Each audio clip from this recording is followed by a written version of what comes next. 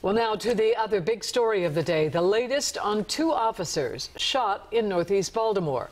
Those officers were part of a federal task force, and they are still recovering from their injuries at this hour. WJZ first reported there's an investigation into whether the suspect ever fired his weapon. New this hour, we're hearing from that man's mother. We have live team coverage. We began with WJZ investigator Mike Hellgren at City Police Headquarters with the new interview. Mike.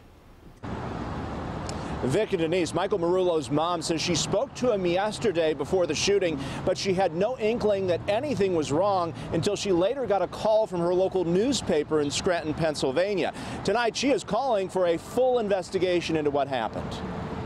The mother of Michael Marullo identified her son as the man shot and killed while police were serving a warrant on his home in northeast Baltimore Wednesday. Everything is just spinning for me right now. The police didn't tell us anything. She told WJZ she's not been allowed to access his apartment. I just want to get to the bottom of this. I'm, I'm a mother on a mission here right now. Two officers, one from Baltimore City and one from Baltimore County, were wounded in the incident. WJZ has learned there was no exchange of gunfire between police and the suspect. Right now, police are still trying to determine how the officers were wounded. This is part of an active and ongoing investigation. Questions surround whether the suspect ever fired his weapon. At some point, this suspect was outside. What we know now is that shots were fired. Our officers were hit.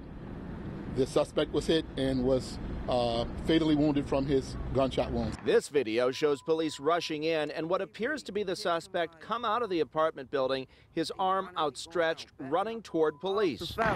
The video cuts off just as the gunfire erupts. I'm proud to be his mother despite everything. There are things that just aren't making sense here. Marullo was wanted in connection with a shooting the night before in Lower Chichester Township near Philadelphia, Pennsylvania, and was facing nine charges.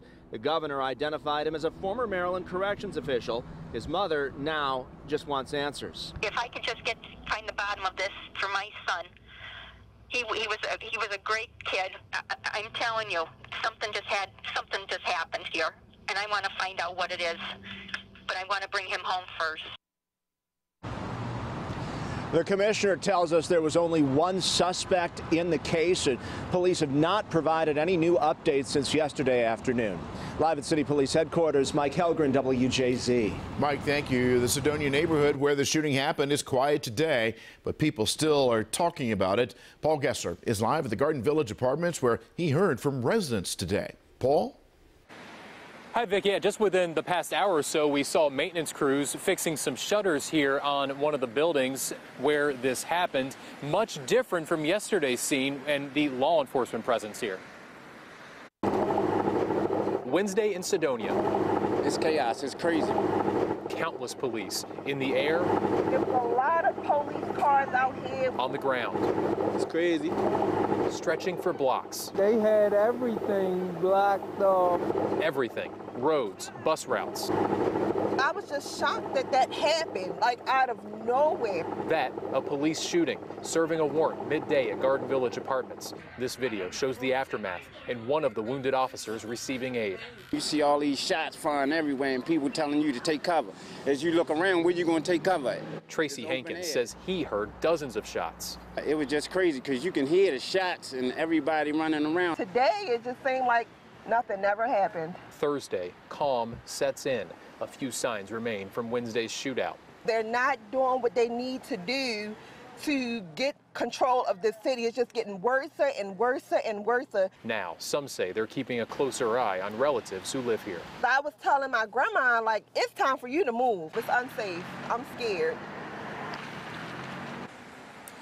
Now, it's striking the difference in witness accounts. We've talked to a number of people who were here yesterday. Some people said the, the gunshots were in the number of dozens. It sounded like a bomb. Other people telling me they were in the building next door and didn't hear a thing. Reporting live from Cedonia in Northeast Baltimore this evening, I'm Paul Gessler for WJZ.